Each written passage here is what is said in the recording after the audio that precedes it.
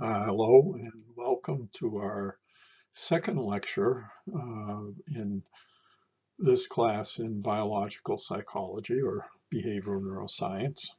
And um, the lecture today is uh, one that I call Is Behavioral Neuroscience Necessary? And I think one thing that a student should do in any course that they take is to um, ask that question uh, to the professor um, of the course that they're taking and say, why do you think that this course is so important? Why do you think that this course is so essential uh, for, for me to be taking?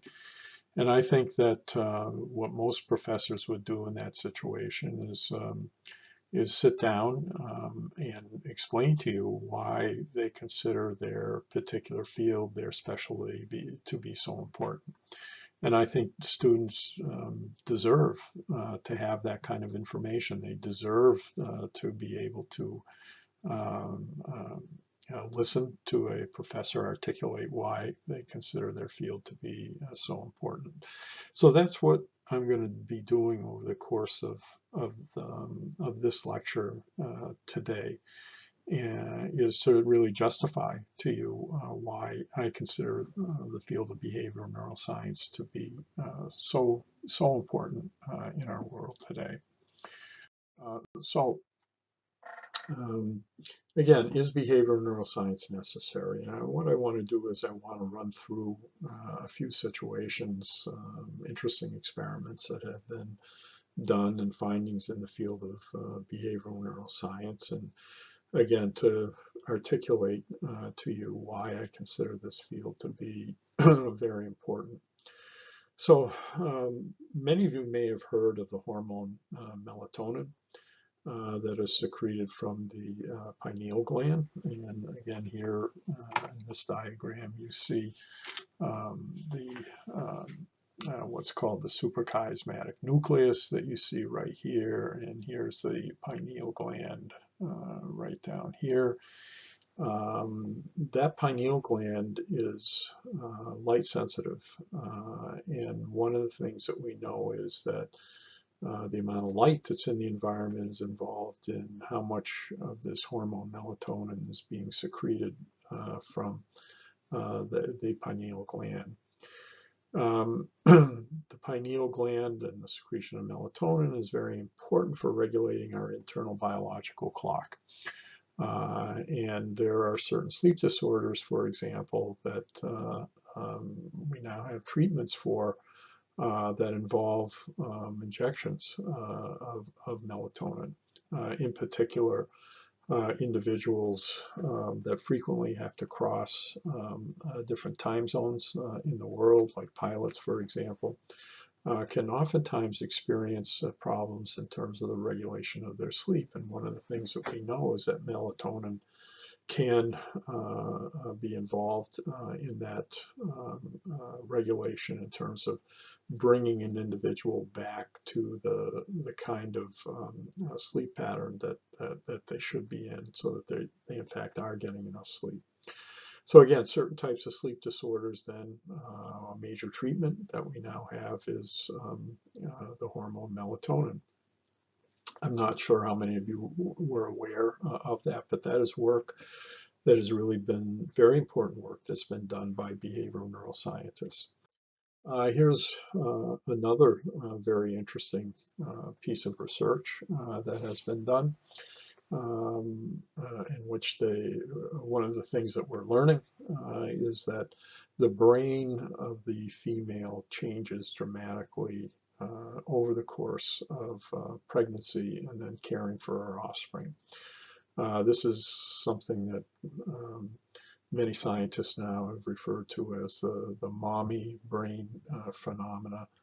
Uh, we know that the preoptic area of the hypothalamus and the hippocampus, uh, and there, are some brain slices that we see here of a female uh, rat that has gone uh, through pregnancy and you see uh, dramatic changes that take place in the cells here in terms of uh, elaboration uh, of those cells. Again, much different from what you see in a, in a female rat that has not gone through uh, those kinds of changes uh, in terms of pregnancy. We know that these are hormone dependent changes. We'll be talking about this a little bit later on when we get to the area of reproductive behavior, but uh, there's speculation that um, uh, understanding these brain changes may be important for understanding um, behavioral changes that occur um, uh, both in lower animals and in human beings as a consequence of um, uh, uh,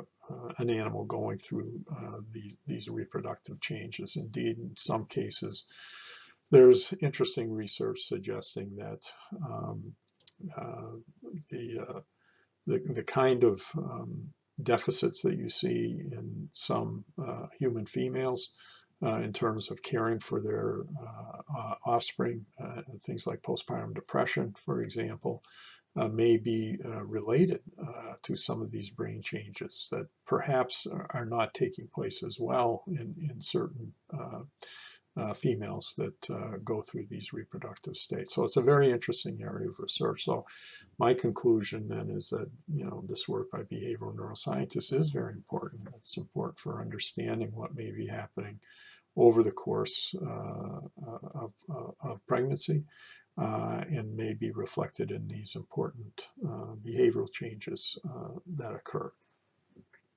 Another area is um, work that has been done um, examining uh, this area of the brain that we see here, uh, the hippocampus. You can see the hippocampus flashing. Um, and uh, that's uh, a part of the brain that we now know is involved in uh, learning and memory. Uh, and there's a lot of uh, research, uh, basic research that's been done uh, exploring what happens when, for example, this part of the brain is removed or this part of the brain maybe is there, there's some damage to it.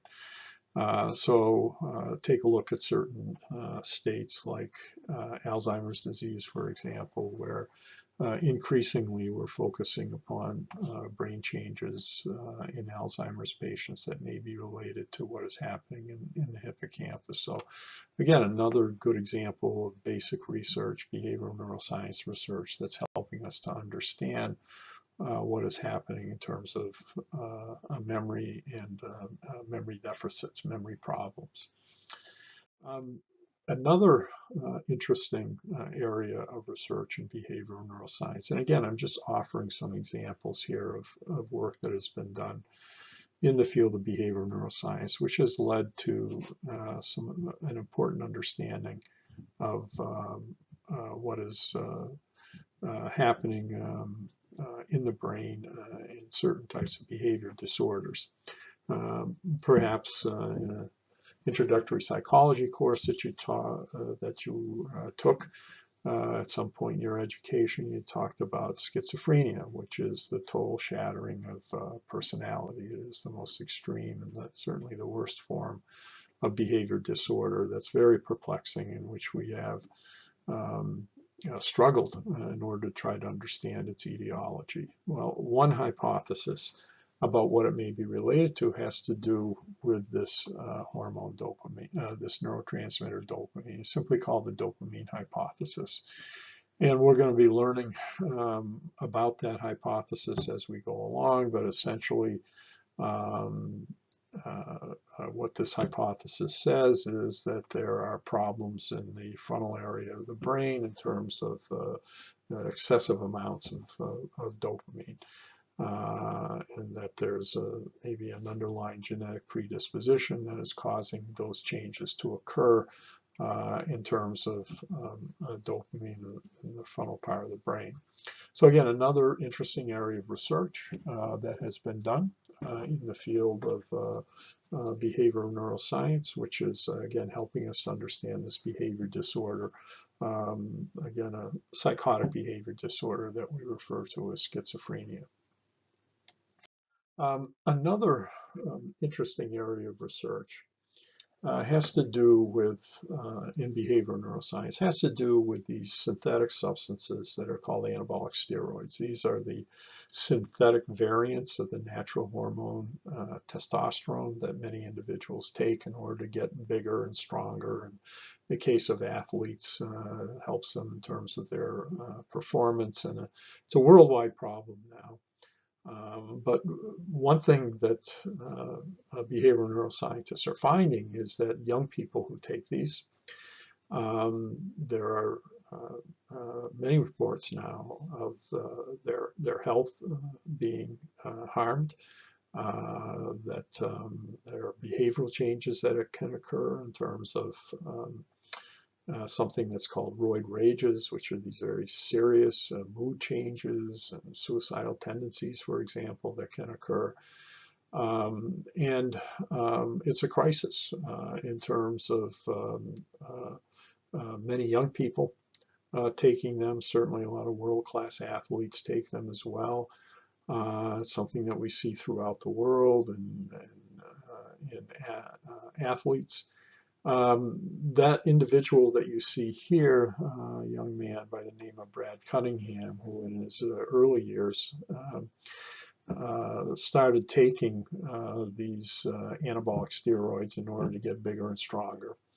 Um, and what happened to him was that uh, after chronically taking these extremely high doses for a very long period of time, he had um, a, uh, a, series, uh, he had a stroke and then a series of heart attacks. Um, and those are all um, uh, uh, uh potential um, uh, outcomes that can occur in individuals who have chronically taken taken these. luckily, he um, he survived uh, after being in the hospital for an extended period of time, and now here is that same individual. He's learning how to walk um, all over again. And again, this was a consequence of the strokes um, and the heart attacks that uh, that occurred um, in in this individual. So again, this is another very active area of research. Uh, that it's helping us a great deal to understand uh, what happens uh, in individuals who uh, take these illicit drugs, uh, these anabolic steroids. So um, again, is behavioral neuroscience necessary? I, I, think it absolutely is to help us to understand um, these this kind of a, an addiction that occurs in some individuals. Um, another area um, of research has to do with, uh, in behavioral neuroscience, has to do with um, these brain changes that we know are occurring in individuals that have repeated concussions. Um, and what we're learning is that uh, if you take a look uh, at uh, uh, a normal brain, which you see on the left here, and the brain of an individual who um, uh, played the sport of football, uh, in which uh, he had repeated concussions. Um, you can see these uh, uh, brownish black spots um, that you see uh, right here. Um, and again, these are called protein tangles. Um, and you see them in individuals with concussions. You also see them in individuals um, who uh, suffer from Alzheimer's disease. So this is uh, very interesting that you're getting these degenerative kinds of changes, both in individuals who have concussions, frequent concussions, uh, as well as individuals uh, who are diagnosed with Alzheimer's disease. So again, this is along the lines of this uh, discussion of, you know, is behavioral neuroscience necessary? And um, absolutely, uh, it's helping us to understand important um, uh, uh disorders, uh, Alzheimer's disease being one that has reached epidemic proportions um, throughout the world.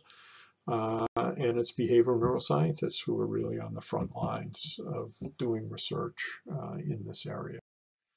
Uh, here's another interesting piece of research uh, relatively uh, recently. Um, uh, work that's being done in terms of examining what happens in terms of the emotional tears that are produced in women um, that occur, you know, around the time of menstruation when a woman is much more likely uh, to cry.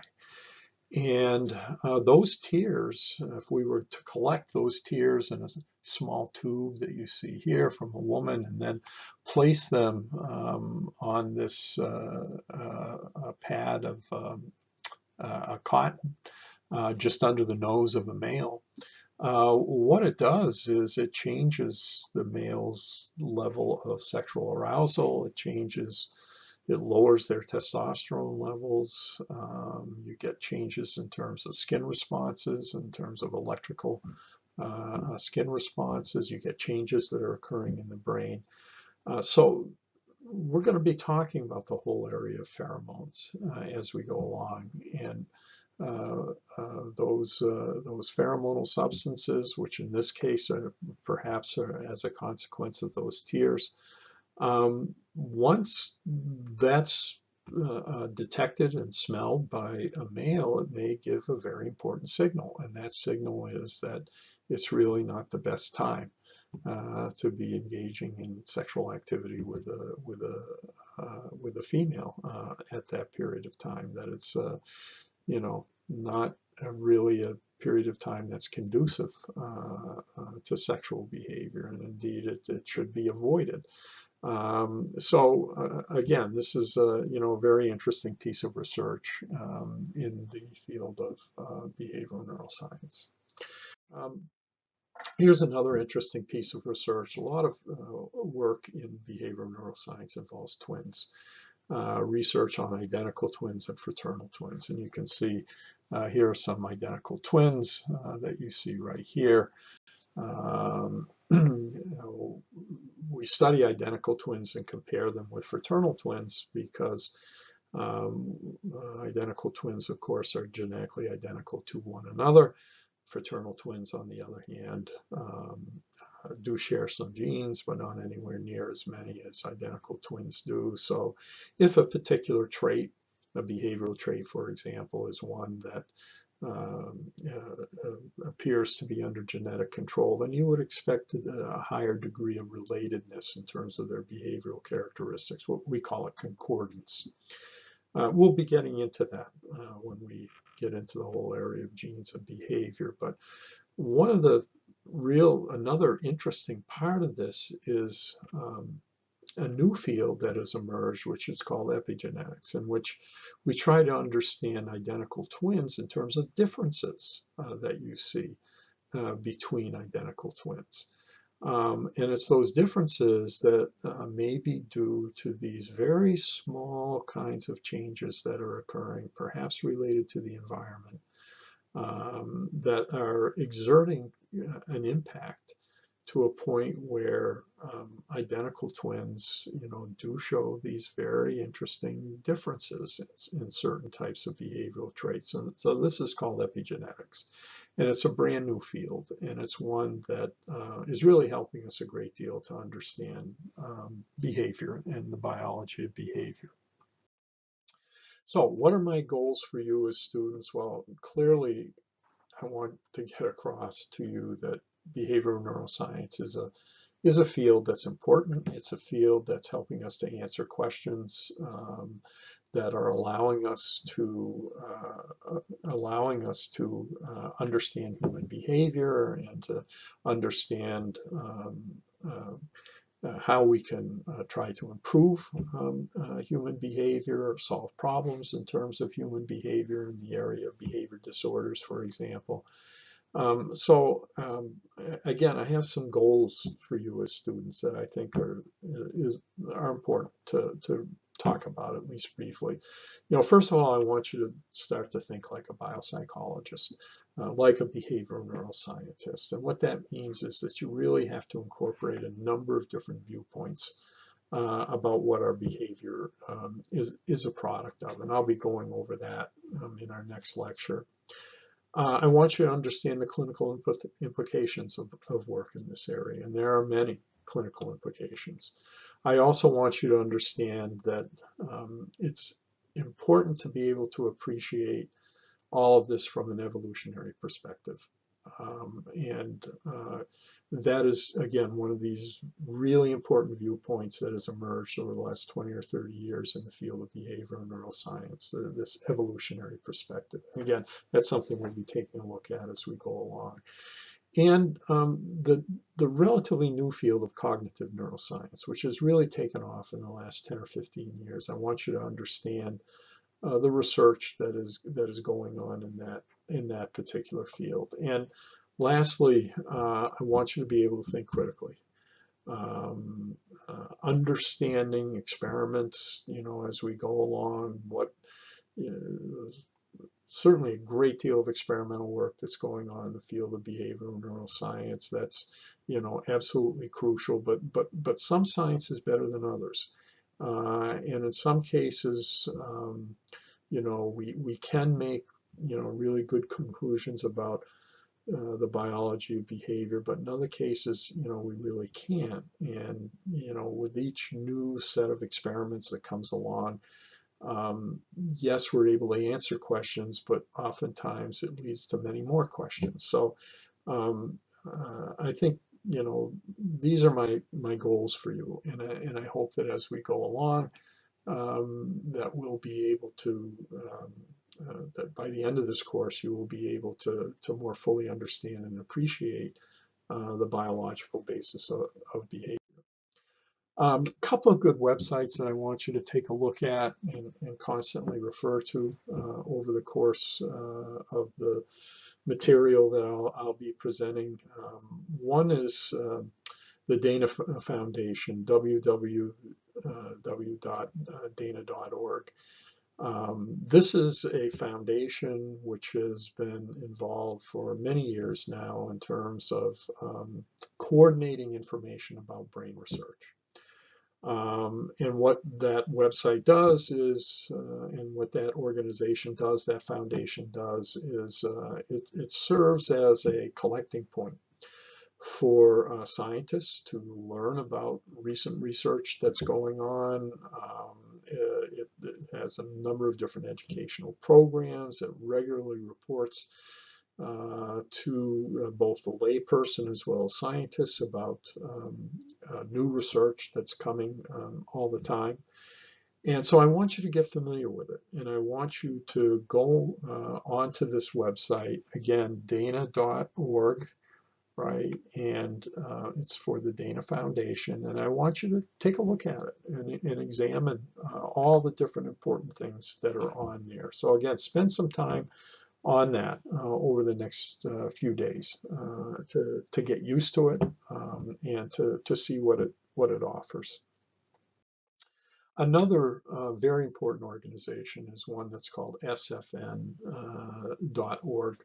Uh, sfn.org. This is uh, the major uh, professional uh, society for those working uh, in the area of neuroscience, and certainly people that are involved with be behavioral neuroscience. SFN.org, uh, the Society for Neuroscience. And again, it's a principal professional organization for those that are involved um, in uh, uh, the neuroscience field, again, all over the world.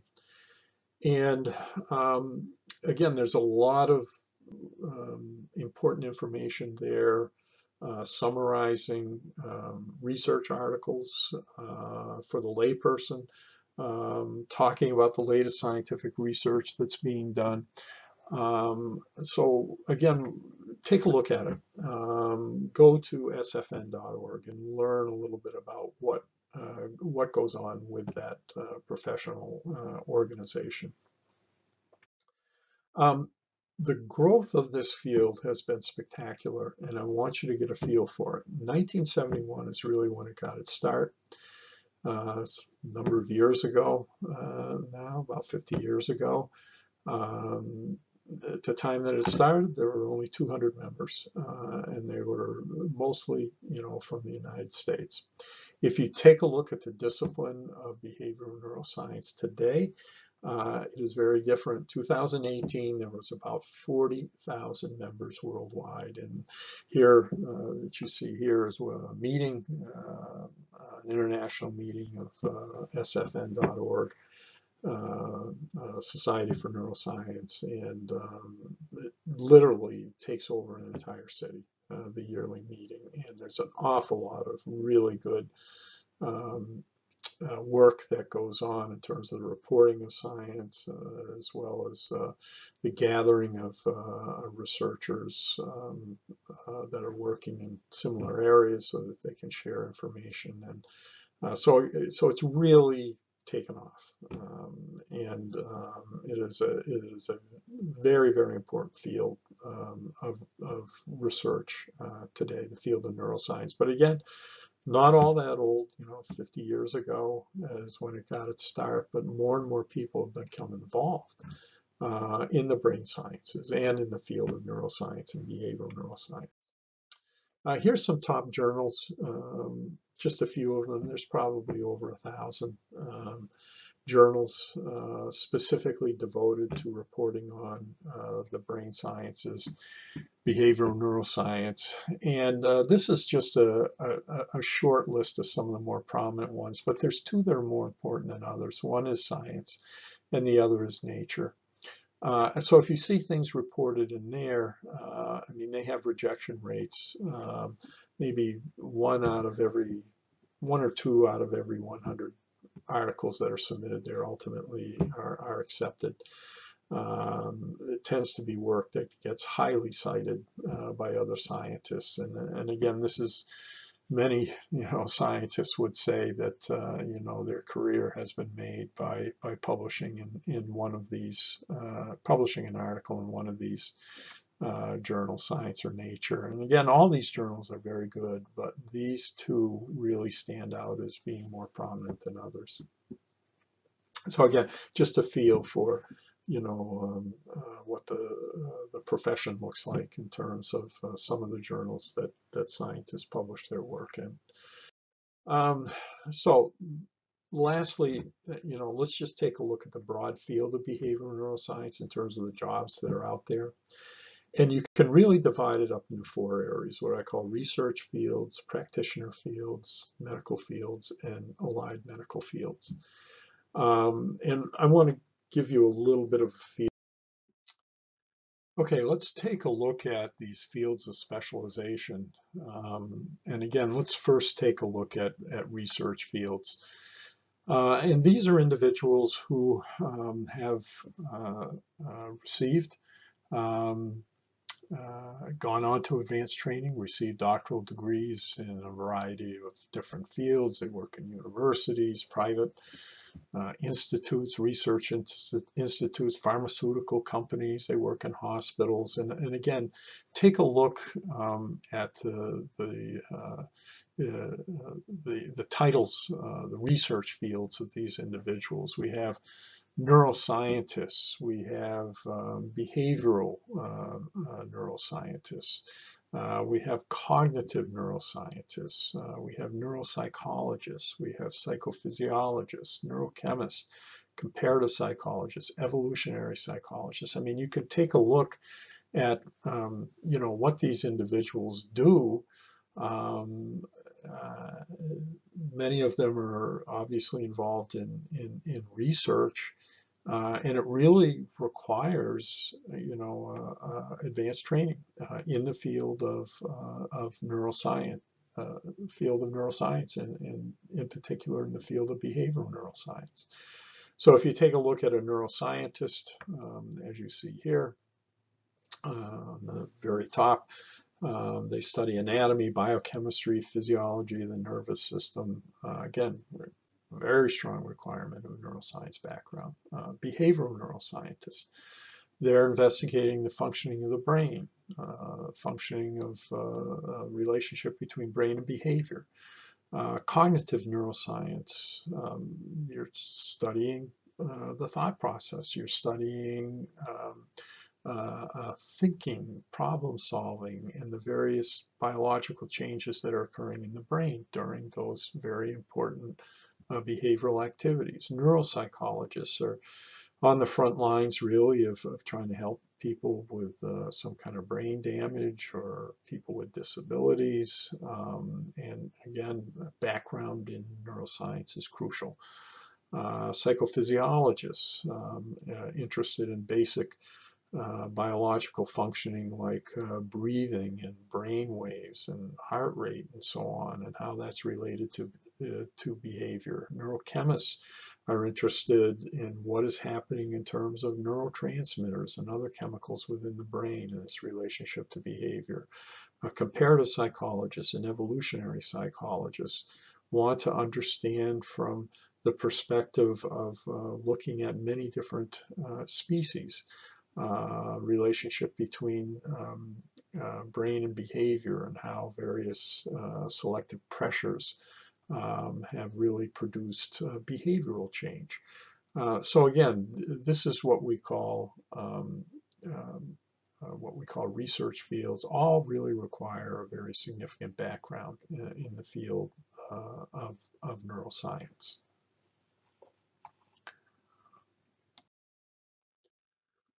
So uh, lastly, we have this, uh, you know, practitioner fields uh, of psychology, uh, clinical psychology, counseling psychology, school psychologists. You know, these require an advanced degree, a doctoral degree. Um, their work, even though it's not directly related to neuroscience, it's really important that they do have a background uh, in the field of neuroscience. Um, uh, and again, this is becoming increasingly important as we learn more about uh, the biological basis of behavior. Uh, and then we have medical fields. Um, again, this requires uh, an MD degree, um, a lot of additional training, uh, obviously, uh, in a, in, a, specialization. Uh, these are individuals, uh, obviously, some many of them are in private practice, but it's uh, important to have a background uh, in the field of, of neuroscience. Uh, if you're a neurologist, if you're a neurosurgeon, if you're a psychiatrist, that that becomes you know crucial in in the the practice um, of of those particular professions.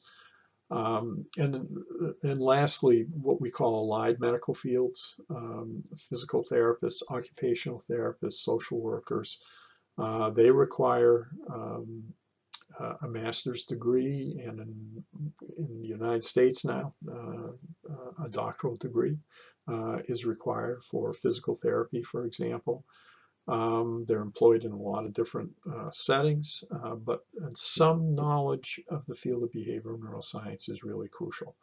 Uh, so um, I, I, again, the, there's a lot of opportunities that are out there for people who have been trained in the field of neuroscience uh, and who have had uh, specifically training in, in, the area of behavioral neuroscience. So it's becoming more and more uh, essential. So um, you know, is behavioral neuroscience necessary? Yes, um, it is. And again, this the last few slides we've just taken a look at uh, at uh, these various fields um, uh, that require these professions that require background in the field of neuroscience. Uh, so that kind of wraps up our uh, uh, this particular lecture. Um, we're going to be moving on. Uh, but uh, again, please do take a look at those uh, two websites, sfn.org and dana.org. Um, they're very important in the field of behavioral um, neuroscience.